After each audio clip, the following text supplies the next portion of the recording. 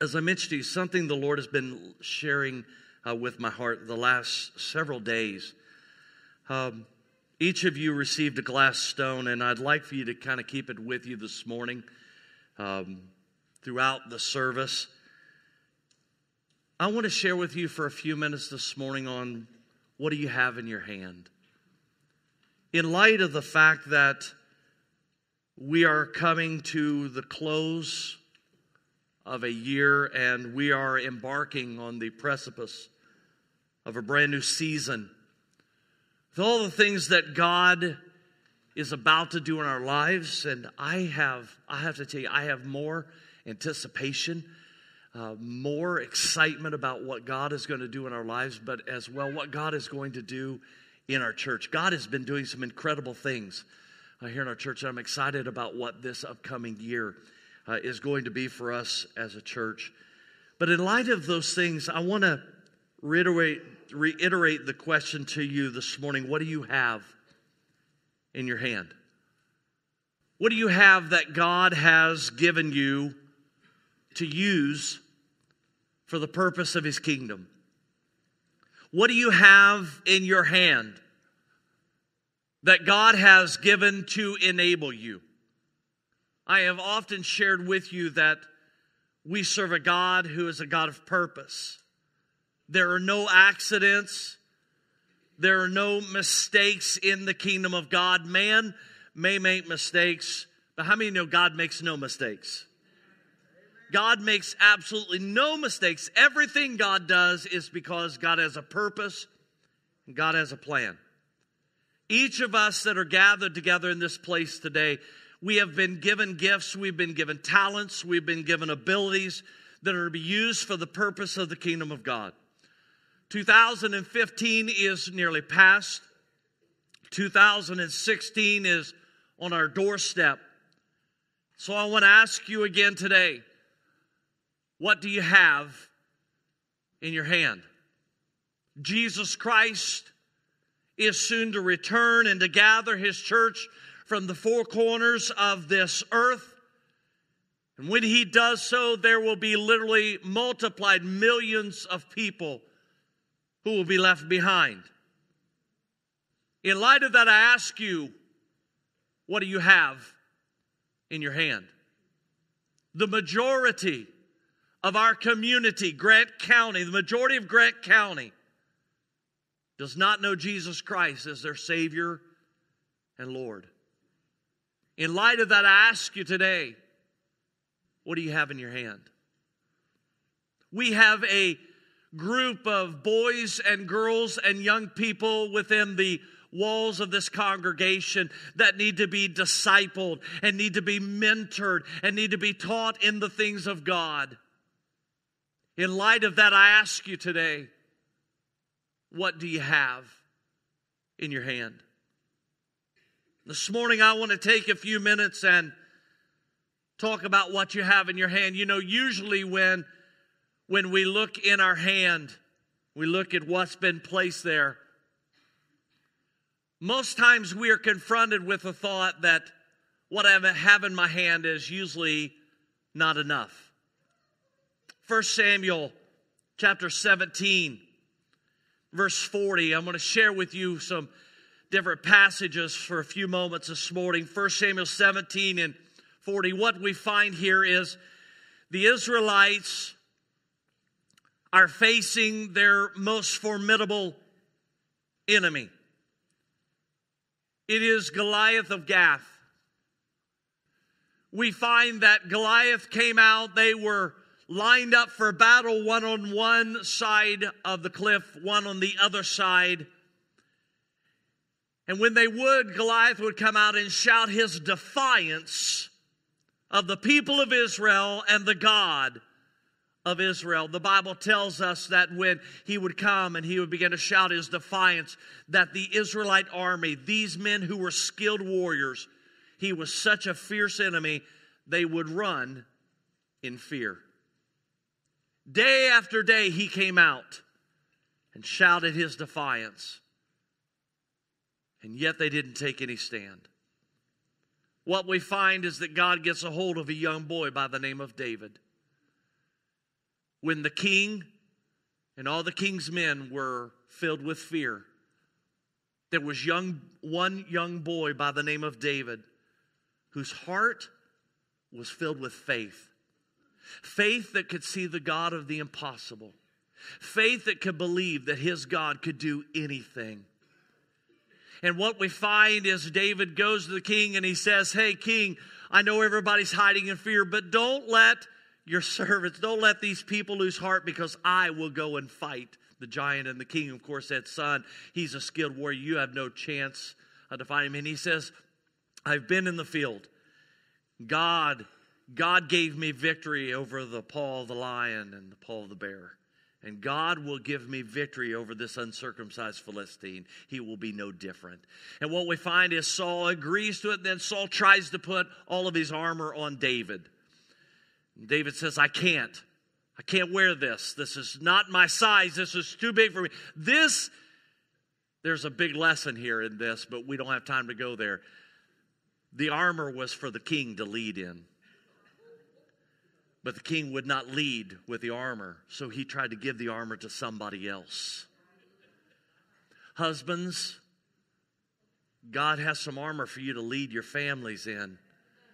It's not your wife. Your wife can't bear it. Only you can bear it. Only you can lead. It's getting quiet in the church house now. The king was trying to give his armor to somebody else, but it wouldn't work. David said, I can't do this. David hands, heads out to the battlefield. That's where we pick up in verse number 40, 1 Samuel 17 and verse number 40. It says, Then he took his staff in his hand. He chose five smooth stones from the stream.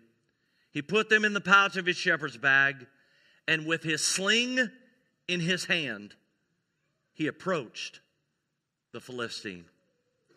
Now, verses 4 through 7 in that 17th chapter describe the enemy that David and Israel uh, was up against. And I want, to, I want to read that for you. And if you have your Bible, you can look there with me uh, because it describes well what they're up against. Verse 4 begins on a champion named Goliath, who was from Gath, came out of the Philistine camp. His height was six cubits and a span. Some of your Bibles and the notation will tell you he was over nine feet tall. How many know that's a big boy? I'm right at six foot, so if you want to take half of my height and add it again to my height. Look there with me. He had a bronze helmet on his head and he wore a coat of scale armor of bronze. Look at this, weighing 5,000 shekels. 5,000 shekels was about 125 pounds. I don't know about y'all, but I just get wore out carrying bags of softener salt that weigh 40 pounds.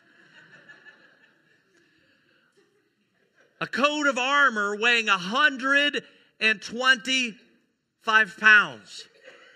On his legs, he wore bronze greaves, and a bronze javelin was slung over his back.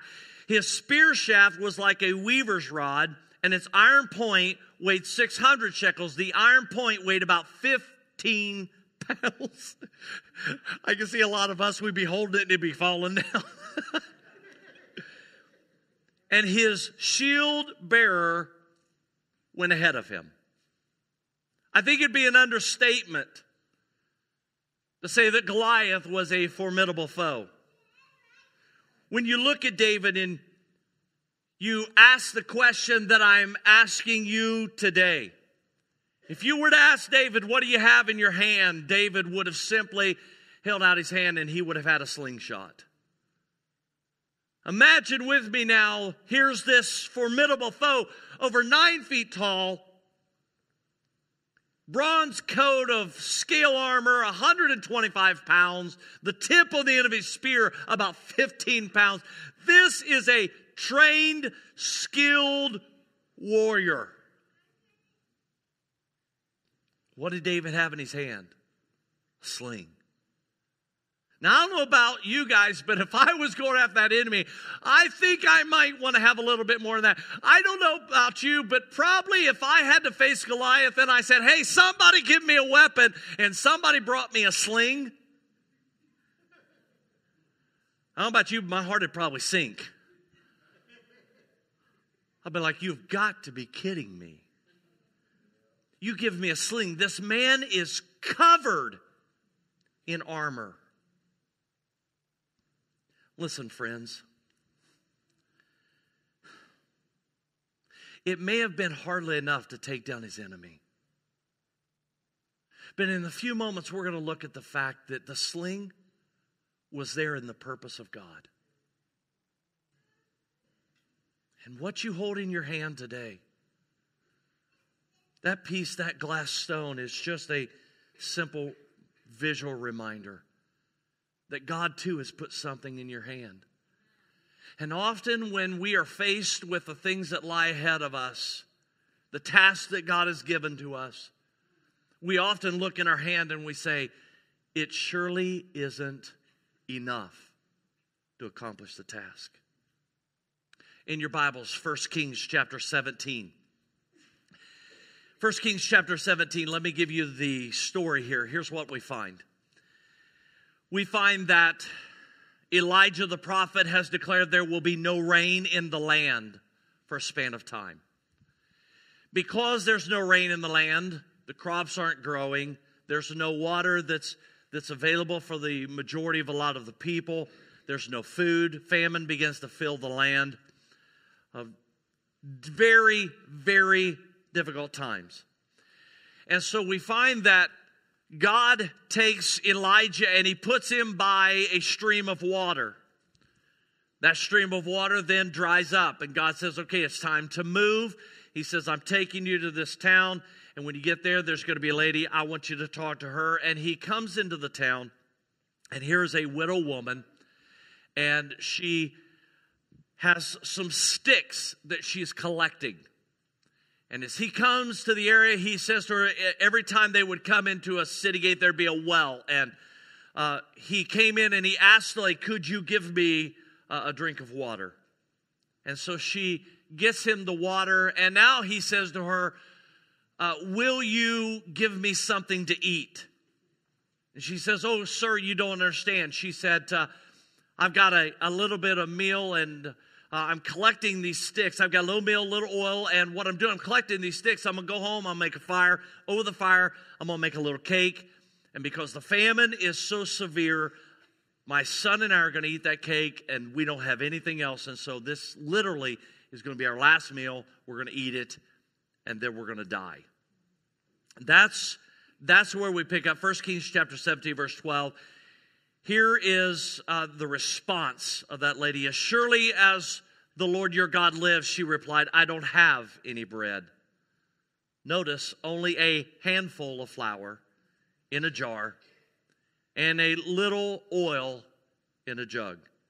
I'm gathering a few sticks to take home and make a meal for myself and my son that we may eat it and die. God is a God of purpose. God always has a plan. Throughout the drought, throughout the famine in the land, God would provide Elijah and the widow woman and her son through a simple handful of flour and a little bit of olive oil. Now, the truth is, in the natural, there was simply not enough there to meet the need. But here's what we find Elijah says to her, Here's what I want you to do. He says, I want you to first go home and make me something to eat. I want you to take what seems to be nothing and insignificant in your hand, only a handful of flour. I want you to go home and make a cake. And he says, Then I want you to give it to me. And when you've given that cake to me, then I want you to make some for yourself and your son. And I want you to eat. Now, I don't know about you, but if I'd been that woman, I would have said, I know you're a prophet, but evidently you're off your game today. I just told you I only have enough for myself and my son. She didn't say that. She obeyed the words of the prophet and the man of God. We find she goes home. She makes the cake for the prophet, gives him the food. She turns around, and what was just a simple handful of flour and a little bit of oil in the jug, she turned around, and there's the same amount. She makes the food for herself and her son, they eat. We find throughout the word of the Lord because the prophet, the man of God, had spoken the word and she obeyed. What was a simple little bit in her hand provided for Elijah and for the widow and her son throughout the entire drought. But, friends, all she had was a little handful of flour, a little bit of meal in her hand. So I want to ask you today what do you have in your hand? It may seem insignificant, it may seem like not enough. I want to take you to one more one more scripture, Luke chapter 9 verse 13. Here's what we find this is the feeding of the 5,000. Most of you all know this story. Jesus has been teaching all day long. The people have been there listening. The Bible records there was 5,000 men plus women and children. So easily, easily this could have been a crowd of 15 to 20,000 people. So it's getting the end of the day. And the disciples said, Hey, these people are getting tired, they're getting weary. You should send them away and let them get something to eat. Jesus, I love, I love Jesus' response. Jesus just turned around and said, You give them something to eat. Be careful what you tell Jesus to do. Because he may just turn the tables on you. He said, You give them something. They said, Oh, Jesus, it would take eight months of a man's wages to buy enough bread to feed this group of people. We don't have that. Jesus said, What do you have? Listen, friends, Jesus is not concerned about what you don't have. Jesus is looking for what you do have. He's looking for what's in your hand now. What not what you want to be in your hand later, but what you have in your hand now. He said, What do you have? And they said, Well, let's look around. And so they find a small boy. Leave it to the disciples. They'll steal a small boy's lunch for Jesus' purpose. They said, Jesus, here we are. All we have is five little loaves and two fish. That's hardly enough to feed this crowd. That's enough for the boy. But it's not enough for even Jesus and the disciples, let alone the 5,000 men plus women and children. Friends, when you look into your hands and you only see five loaves and two fish, when you look in your hand, do you only see a handful of flour and a little oil? When you're faced with a big task ahead of you, do you only see in your hand a shepherd's sling? I want to ask you again today what do you have in your hand? Not only do we understand that usually when we look in our hand, it doesn't seem like it's enough. But secondly, I would share with you today remember that what's in your hand came from Him. What's in your hand came from Him. The sling and the stones in David's hands were from God. God created everything that is. The flour and the oil were God's provision for the widow before the drought ever came. The five loaves, the two fish, were from Him. They were each God's creation and His design. God is the giver of all things, and often we are tempted to compare what we are given with what another person has. Truthfully, it doesn't matter what your neighbor has in their hand. Honestly, I have to ask question what does that have to do with what's in your hand?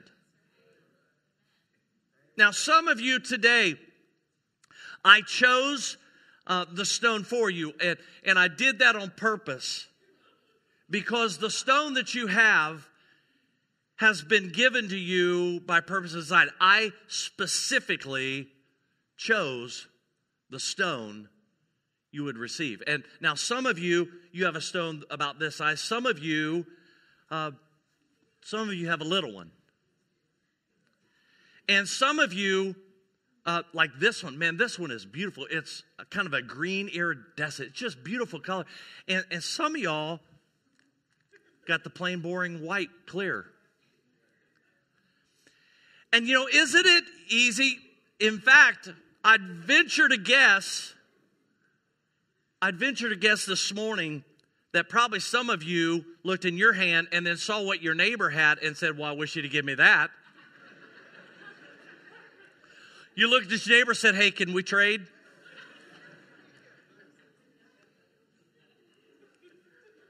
You know, when you consider what's in your hand,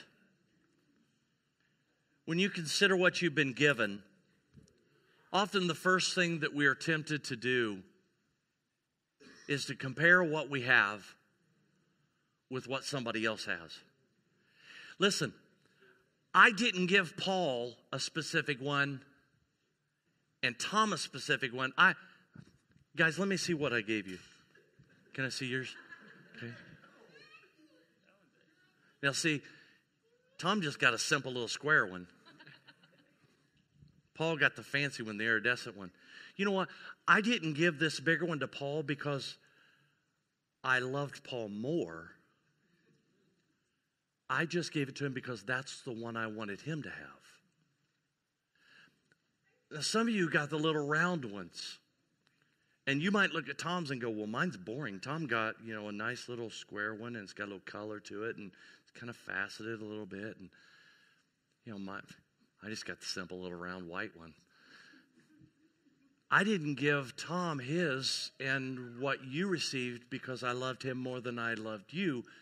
It simply was just in my process that I chose, I want you to have this one, and I want you to have that one.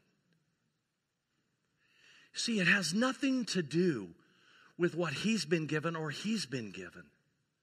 And often, friends, when we start talking about things in the kingdom of God, we begin comparing what somebody else has with what we have. And we begin saying, you know what, what I have really isn't that important.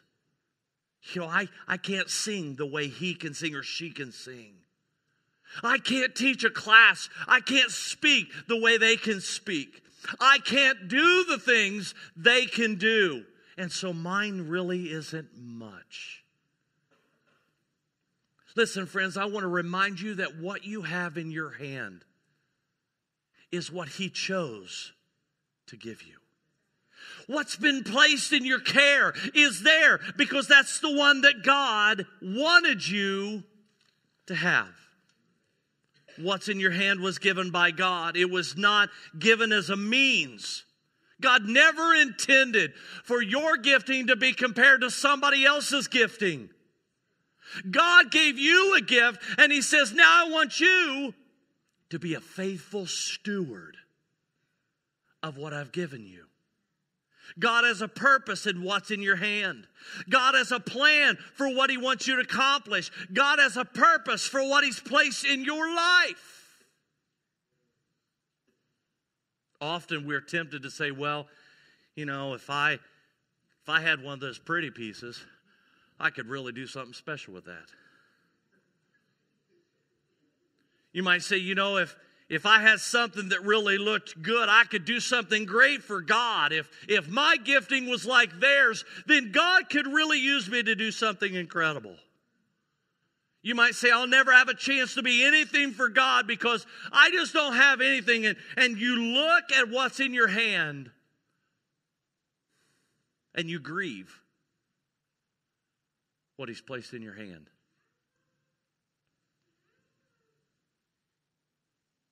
Never forget, God is the author of your life. God is the author of your destiny. And He can use whatever He's placed in your hands. And friends, listen to me. May God give us revelation on this. It's not about the greatness of our giftings, it's about the faithfulness of our giftings. God did not call you and I to be great, He called us to be faithful. To some, He will give many, to some, He will give you. But we're all, listen, we're all servants in the kingdom.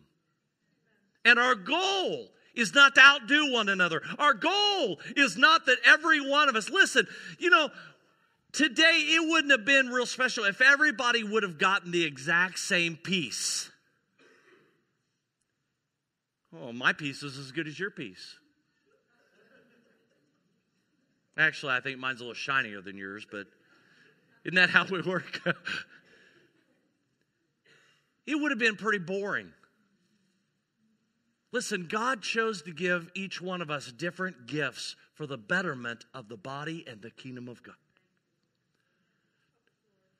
Don't look with disregard. Don't look with bitterness at what's been placed in your hands. Listen, if you got one of the little clear circle ones, whatever He's placed in your hands, give it everything you've got to use that to its fullest potential for His glory. I ask you again today what is in your hands? Third, and last of all this morning, I want to encourage you today to give thanks for what you've been given. Give thanks for what you've been given. We find in 1 Samuel that David used his sling for the glory of God we find in 1 Kings 17, the widow of Zarephath used the handful of meal and a little bit of oil for the glory of God to sustain the man of God, the prophet of God. We find in the feeding of the 5,000 that it was just the five loaves and the two fish given into Jesus' hands. They gave to Jesus what they had. Listen, these things didn't transpire in a miracle until they were given. The widow, had she not obeyed the word of the Lord, most likely would have ate that last meal and her and her son would have died. Holding and grasping on to the handful of flour and a little bit of oil. The people that day would have went away hungry had the disciples refused to give Jesus what they had. But I want you to see something this morning. Luke chapter 9. Luke chapter 9, it is the story here, of the feeding of the 5,000. Luke 9, verses 16 and 17. We find Jesus doing something, I think it's a critical key for you and I. Verse 16 says, Taking the five loaves and the two fish, and looking up to heaven, he gave thanks and he broke them. Then he gave them to the disciples to distribute to the people Listen to this. They all ate and were satisfied. They all ate and were satisfied, and the disciples picked up 12 basketfuls of broken pieces that were left over. Jesus took what seemed to be insignificant, Jesus took what seemed to be worthless, and he held them up to heaven. And he gave thanks he took the five loaves and the two fish, not nearly enough to complete the task, but he took simply what he had and held it up to heaven and said, My Father, I give you thanks for these things you have given to us. Friends, as you and I stand on the precipice of yet another year, I would challenge you to not disdain or look down on what God has placed in your hands, but rather hold up before God what He's placed in your hands and give thanks Give thanks for what He's given you. Give thanks for the gifting. Give thanks for the talent. Give thanks for the grace that He's given to you. Don't look at it with disfavor. Don't look at it as never enough. Don't look at it as mine's not as good as somebody else's. Instead of despising the small beginnings, begin to celebrate and give thanks for them. Give thanks for what you have. Not everyone, listen, not everyone is suited for the same giftings. That's the truth. Often we look with envy at somebody else and we say, wow, you know, if God would use me too if I had what they have. Or we look with envy and we say, wow, I sure wish I could have what they have. When in reality, friend, you don't know the burden they bear in carrying that thing. We're always wanting something bigger. Maybe, maybe we ought to just celebrate the small piece He gave us. You may not understand the burden that comes with the big piece because the Bible says, To whom much is given, what? Much will be required. Don't look with distaste on what God's placed in your hands. Don't look with disdain with what God has given you. Give thanks for what He's placed in your hand. Give thanks to Him. Rejoice. Rejoice. You say, Well, I can't do this. I can't do that. Rejoice for what you can do.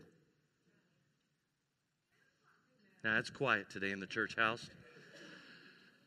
Give thanks for what you can do.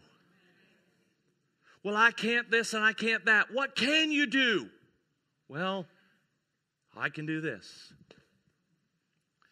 People say, Well, I'll never be able to sing like Tom Kellum can sing. I won't either. You know why? Because I'm not Tom Kellum. He's Tom Kellum. They made one and broke the mold. You see, that's the gifting that God has given him. I have always, I've known Tom for longer than Tom and I probably want to admit. And I've often enjoyed hearing Tom sing. I always, when I hear Tom sing, I always like to just kind of close my eyes because when Tom sings, he has such a smooth, uh, soothing voice. And I, I just like to hear him sing. When I sing, it don't come out that way. It's not smooth. It's not soothing. And the reason why is because that's his gifting and not mine. When you look at what's in your hand, don't compare it with what somebody else has. Don't say, well, man, mine will never be anything because I, I just got this little tiny piece.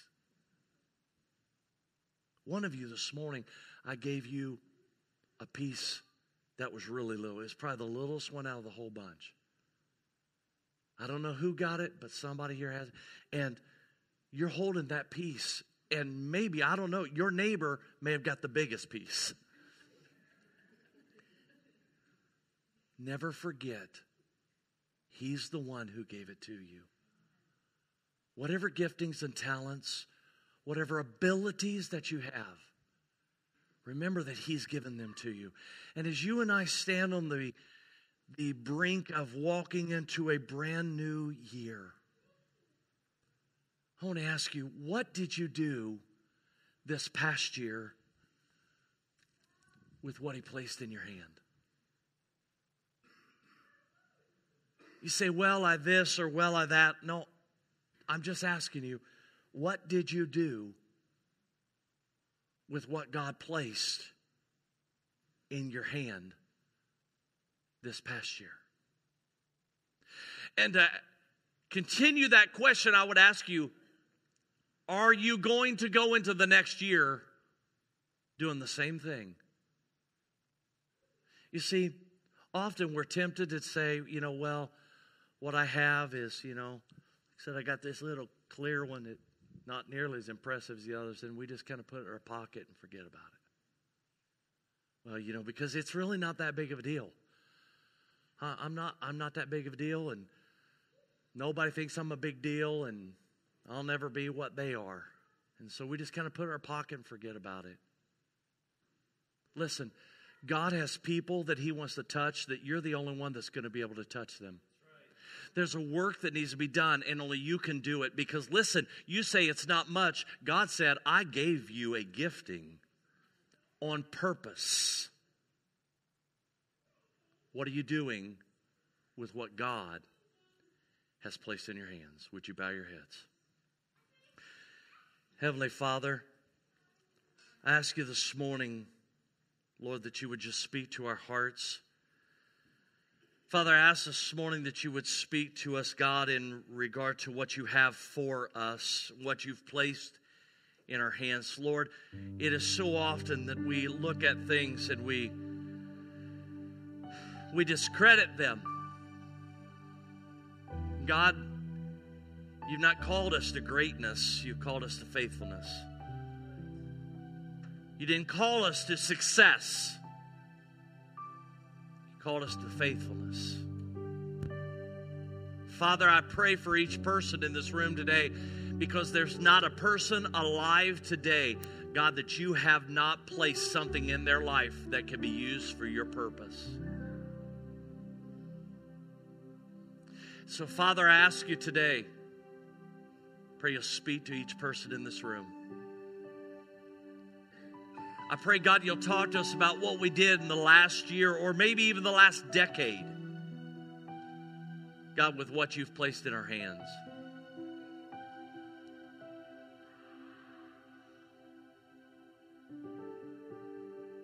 Father, I ask you today,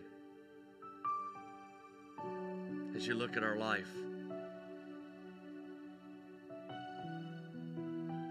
God, speak to us about what we're doing for you. God, maybe we feel like what's placed in our hands is too old to be used, too new to be used, too immature to be used, too outdated to be used. Father, I pray in the name of Jesus, you'll speak to our hearts, God, about the fact that you want to use what you've placed in us for the glory of your name. Speak to our hearts now, I pray, Father, in Jesus' name. Amen and amen. Would you stand with me this morning?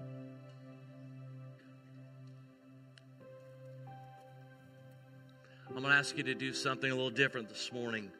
I'm going to ask that you'll come, bring, bring that piece with you.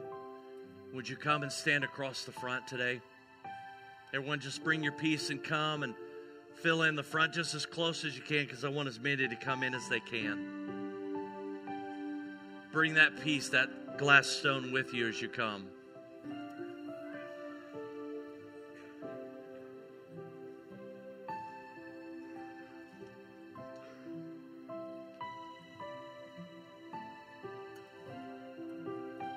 Just keep coming. We're in no hurry.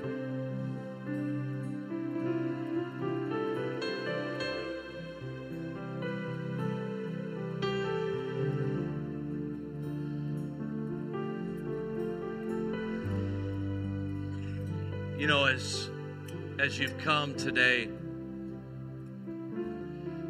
often we're not quite sure what God's placed in our hands. Often we just look at other people and we see what God's put in their hands, but we look at our life and we're like, well, since I can't do that and I can't do this thing, then I don't know what God has placed in my hands. I want to encourage you this morning to ask God, what is it you have for me? Listen, maybe what He's placed in your hands is sending a kind word in a card or an email or a text to people and encouraging them. You know what? There are some people, I'm telling you, they have the gift of encouragement. They're the kind of people you get around them and you feel better when they leave because they showed up. There's some of you, you do have the gift to teach, you have the gift to minister. Some of you have the gift of singing. Some of you have the gifting of praying for other people. Some of you have the gifting of benevolence and blessing other people. Whatever your gift is, this morning, if you'll just hold your hand out with that in your hand. The Bible says in Luke chapter 9 and verse 17 said that Jesus took the five loaves and the two fish, he held them up and he gave thanks for them. I like for you this morning as you have your hand out, that in your hand, understanding this represents what God's placed in your life. Right where you're at, I'm going to lead us in prayer, but what I'd like for you to do, I'd like for you to take a moment and give thanks for what He's put in you. Give thanks for what He's put in your hand. Give thanks for the gifting you do have. Give thanks for the way He can use you. Could you do that right now, Heavenly Father? I just thank you today. I thank you today. I thank you today. Thank you, God, for your giftings. Thank you, God, for the things that you've given to the body of Christ, Lord, to bless other people. Thank you for the encouragers. Thank you, God, for those today, God, that can bless one another financially. Thank you today, God, for those who can bless one another with a kind word. Thank you for those who have the ability and the gifting of intercession and praying for other people. Thank you for those, God, you've given the gifting of teaching and exhorting and instructing. Thank you, Lord, today for the gifts that you've given. Thank you, God, for the people, God, that have the desire to send a kind word in a card or a note. God, whatever you've placed in our hands today, we say thank you. Thank you. Thank you, Lord. We declare, God, we're content with what you've placed in our hands. God, we will not look at what you've placed in our hands anymore with disdain. We'll not look at what you've placed in our hands with not enough. We'll not look at what you've placed in our hands with not as good. But Lord, we'll rejoice over what you place in our hands. We'll celebrate the giftings you've given to us. We'll celebrate, God, what you've given for us to do for you. We'll celebrate it because it's you that's given it to us. Father, I pray for each person today. Lord, as we embark on a new year, I pray in the name of Jesus, God, that you'll use those giftings through us. And God will employ those giftings, We'll put them to work for you. So, God, if we're an encourager, we're going to encourage more people in 2016 than we've ever done before. And if we're uh, the gift of praying for others, we're going to pray for people more than we've ever done before. If we're a giver, we're going to give more than we've ever given before. If we're a teacher, we're going to teach more than we've ever done before. We're not going to let those things sit dormant in our pocket. But God, we're going to use them for the glory of your name. Father, let our lives be for the glory, for the honor of your kingdom, both now and forevermore, I pray. In Jesus' name. And all the people said, Amen. Amen. I want to encourage you keep that glass stone. And throughout the year, listen, don't go home and put a jewelry box where you won't see it for six years. Keep it out, and when you see it, let it be a reminder of your life to take what God's put in your life and use it for your glory. Now, may the Lord our God, may He bless you and may He keep you. May He cause His face to shine upon you and may you know the kindness and the love of our God through this season of joy. May your hearts be filled with unspeakable joy. Joy that the world cannot give you, and joy that the world cannot take from you. May you be blessed coming in, and may you be blessed when you go out. Whatever you put your hand to, May God cause it to be blessed for His kingdom and His purpose. I love each of you. Have a great day today. May the joy of the Lord be your strength. We'll see you back here next Sunday morning in the presence of God once again. God bless you. Have a great day today in Jesus.